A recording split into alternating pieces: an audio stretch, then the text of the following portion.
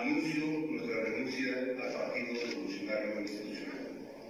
Lo hacemos conscientes del impacto que tendrá dentro del propio distrito político y, por supuesto, con el momento político que vive nuestro país.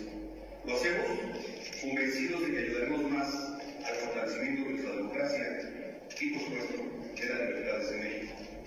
Nunca nos quedaremos callados y conformes ante actos autoritarios y de demagogia que lastiman a nuestro país. Nos toca actuar con base en nuestros principios, pero también para desterrar la incongruencia, la falta de resultados, así como el sometimiento de quienes piensan distinto. Que quede claro, siempre estaremos agradecidos con el partido en el que participamos, teniendo o no teniendo una responsabilidad, un encargo o una representación, siempre estuvimos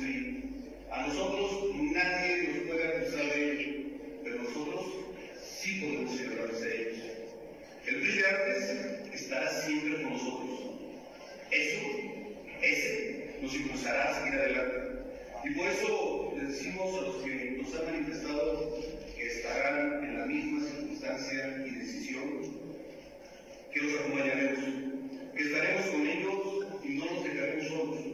Sabemos que preferirán tener el orgullo de una decisión pensada en México que la nostalgia de quedarse esperando el fin anunciado.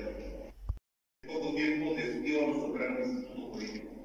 Miró solo para sus propios intereses, su ambición y para su protección de todo lo que públicamente es señalado y acusado. Lo destruyó todo. Destruyó la institución que le entregaron para hacerla pedazos.